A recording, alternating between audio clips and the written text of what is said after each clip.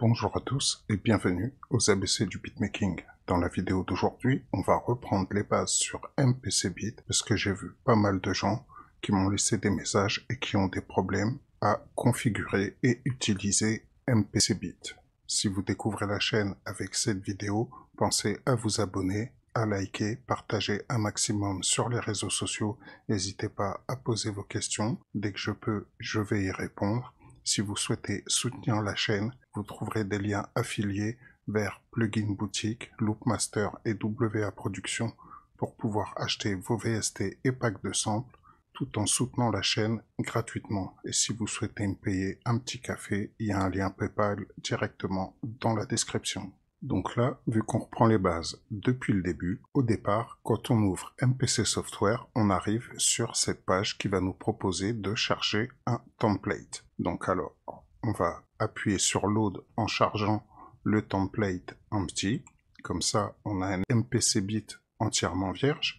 La première chose qu'il va falloir faire, ça sera d'aller dans Edit, ici, avec les trois petites barres, sur l'icône avec les trois petites barres vous allez sélectionner les préférences. Donc Edit, préférences. Une fois que vous avez fait ça, là va falloir indiquer à votre MPC software quel driver audio il va falloir utiliser. Donc dans le meilleur des cas, si vous avez une carte son USB euh, type euh, Focusrite, Presonus, Steinberg, tout ça, vous sélectionnez les drivers ASIO de votre carte son comme moi, là, c'est l'IO station ASIO driver. Je vais sélectionner les canaux d'entrée 1 et 2. Veillez bien à ce qu'il y ait la petite flèche. C'est ce qui va permettre d'enregistrer. Ensuite, au niveau des buffers audio, vous vous mettez à 512 samples, ce qui vous fera 11 millisecondes de latence, mais ça vous prenez pas la tête, parce que en fait, ça vous permettra de jouer tranquillement, sans problème, sans aucune latence. Si vous n'avez pas de driver ASIO parce que vous utilisez la carte son de votre ordinateur, il faudra aller sur Internet. Là, vous tapez dans Google ASIO 4 All, ASIO for All, et vous allez pouvoir télécharger des drivers spéciaux qui vont pouvoir aider votre carte son en lecture. Donc attention au niveau enregistrement audio, ça sera peut-être pas le top. Mais par contre, pour jouer tout ce qui est instrument virtuel ou pour euh, utiliser des softs comme MPC Software, Ableton avec des VST, ça marchera impeccable. L'enregistrement des micros, je ne promets rien du tout. Par contre, composer avec des instruments virtuels, ça va faire le taf largement. Donc vous téléchargez ces drivers ASIO for All, vous les installez et ils vont prendre en quelque sorte la place de votre carte son. En fait, ça va faire un lien avec votre carte son pour qu'elle fonctionne mieux. Une fois que vous avez fait ça, vous revenez dans votre MPC Software et là, vous sélectionnez les drivers ASIO for All une fois que vous les aurez installés. Deuxième chose à faire, ça va être d'indiquer à MPC Software tous les claviers surface de contrôle que vous avez. Donc moi, j'en ai un paquet, mais si par exemple vous avez un clavier Akai MPK Mini, faudra le sélectionner, un peu comme ce que j'ai fait ici pour le MPD 232, le MPD 24. Après, j'ai euh, j'ai mes claviers Arturia. Alors, je sais même pas où est-ce qu'ils sont, mais bref. Voilà, Arturia Microlab, Arturia Minilab. J'ai mon machine MK3. Bref, là, tout ça, vous mettez en track. Ceux qui vont servir de contrôle, où vous allez appuyer sur les boutons pour faire lecture, start, stop, vous sélectionnez contrôle. Les autres, ils restent en track. Une fois que vous avez fait ça, la troisième chose qu'il y aura à faire, ça sera d'indiquer à MPC Bit le dossier dans lequel vous avez vos VST. Alors, par défaut, normalement, les VST s'installent dans C Program File Steinberg VST Plugin. Maintenant, ça peut arriver que ça s'installe dans Program File VST Plugin si vous n'avez pas Steinberg. Mais bon, généralement, ça suit ce chemin-là. Après, si vous avez créé un dossier spécial pour mettre vos VST, vous cliquez ici et vous allez vous arrivez sur votre disque dur, vous lui indiquez le chemin d'accès. Vous voyez, vous allez ici sur C, voilà, disque dur, programme file, et là, vous indiquez le dossier où vous avez tous vos VST installés. Une fois que c'est fait, vous faites un new scan, par exemple. Là, si je le lance, ça va scanner mon disque pour pouvoir trouver tous les VST. Donc là, ça cherche. Vous allez avoir ce truc-là qui apparaît. Moi, ça m'est ignore presque partout puisque je l'ai, il a déjà été fait je sais pas combien de fois. Après, ça peut être plus ou moins long si vous avez beaucoup de VST. Moi, j'en ai énormément, donc forcément, le truc, il prend du temps. Voilà. Une fois que c'est terminé, vous avez Done, Scan complet, et là, vous pouvez faire OK ou passer à la suite. Le reste, ça va être euh, entre guillemets facultatif. C'est-à-dire que là, par exemple, ça va vous permettre de régler le séquenceur. Là, si vous travaillez avec du hardware, vous allez pouvoir le déclarer. Project, donc là, par exemple, moi j'ai changé. Normalement, défaut tempo, c'est 120. Moi, j'ai mis 140. 8 mesures en 4x4. Je veux avoir les filtres de la MPC 3000 quand je charge un programme drum ou un programme K-Group et mon VST par défaut c'est électrique, donc le piano électrique de MPC Software. Ensuite, ici, vous pouvez lui indiquer un chemin d'accès pour en faire les sauvegardes. Après, si vous oubliez de sauvegarder, vous pouvez mettre un autosave et déterminer, par exemple là, toutes les 5 minutes, il va sauvegarder automatiquement pour vous. Ensuite, il y a le record et l'export. Donc moi, ça va être en 16 bits. Donc là, euh, j'ai quasiment rien touché. C'était comme ça dès le départ, en intégrant euh, les programmes volume ainsi que les settings de panning. Et après, on a le général où là, ben, vous allez dire à MPC Software, par exemple, le tap tempo, faut taper ou cliquer trois fois. Le master out, vous pouvez rajouter l'émulation de la MPC 3000 si vous avez envie, bref, ainsi de suite. Et important, vérifiez bien que vous ayez le euh, multiprocess 4 threads.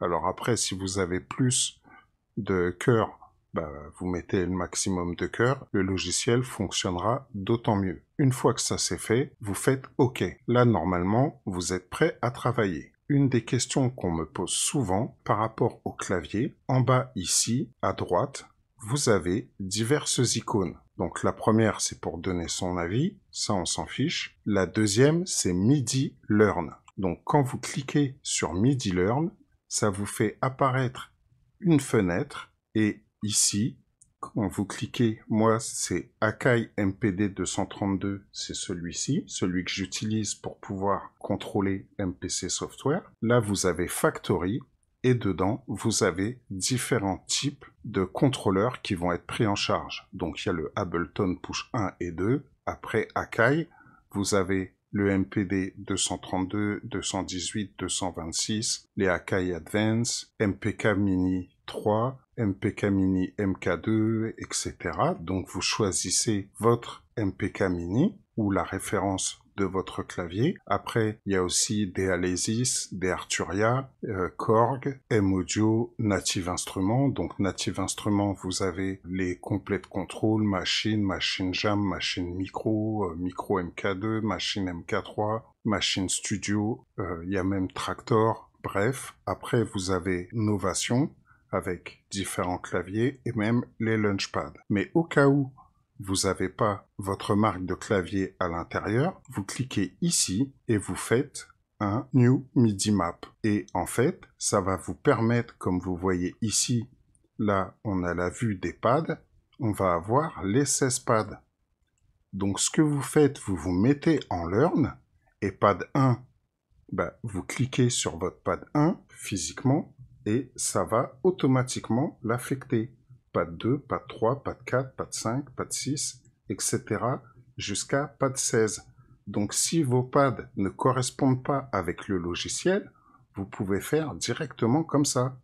Vous faites learn, ça vous met tout en jaune, et là, vous avez plus qu'à appuyer sur les pads pour pouvoir les commander.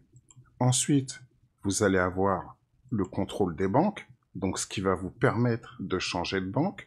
Vous allez avoir les Q-Link, donc là pareil, vous avez vos 16 potentiomètres, vous les assignez en faisant euh, le learn. Et ce qui va vous permettre, vous, après, de pouvoir ici contrôler les Q-Link. Donc moi, c'est déjà pré-mappé puisque j'ai le MPD 232. Si je bouge le programme level, comme vous voyez à l'écran, là, j'ai mon potard de volume qui bouge. Si je prends le deuxième et que je bouge, ça me fait bouger la tête de lecture. Le troisième va me permettre de me déplacer à l'horizontale. Le quatrième, ça va être le zoom. Après, le cinquième, ça permet de mettre en marche, d'arrêter ou d'activer le time correction. Ensuite, c'est le time division. Donc là, si j'ai envie de passer en un quart, un huitième, un trente-deuxième, etc. Donc tout ça, vous pouvez directement les assigner. Et au fur et à mesure que vous allez toucher ton, vous allez pouvoir contrôler tout le soft. Donc ça, c'est une chose à savoir.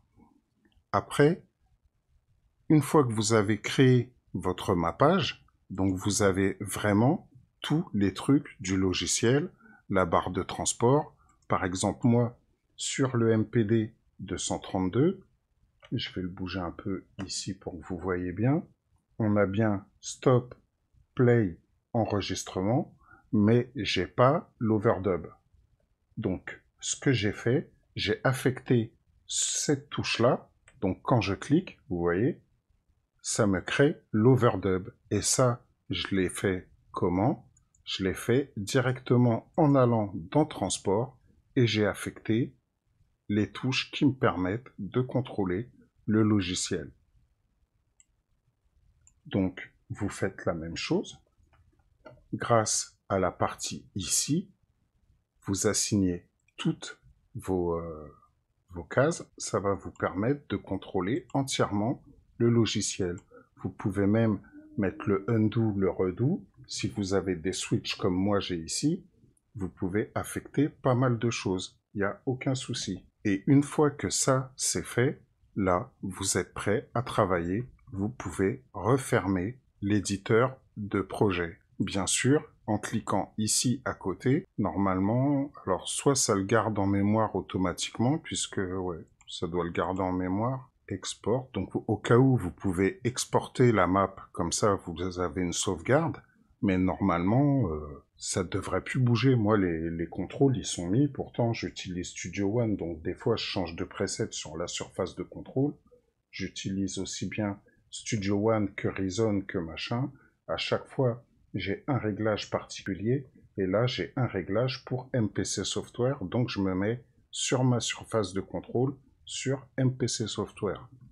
Une fois que ça c'est fait, là, vous êtes prêt à travailler. Donc ensuite, il n'y a plus qu'à commencer à créer un morceau. Donc là, je vais partir sur une petite série de vidéos où je vais vous décortiquer comment travailler avec NPC Beat. Je vais vous montrer ma méthode, comme là je vous ai montré pour la carte son et comment affecter les paramètres de commande MIDI, faire correspondre vos pads avec les pads de MPC Beat. Vous pouvez tout réaffecter. Donc pensez à aller dans la partie MIDI Learn, vous mettez tout en jaune en appuyant sur Learn et ensuite vous pouvez tout affecter. Donc j'espère que ça va vous aider, j'ai eu pas mal de messages à propos de ça et dans les prochaines vidéos, je vais vous faire plein de petites vidéos de maximum 15 minutes où je vais vous expliquer les fonctions pour pouvoir avancer tranquillement. Donc moi je vous dis à bientôt pour le prochain épisode des ABC du beatmaking. Salut salut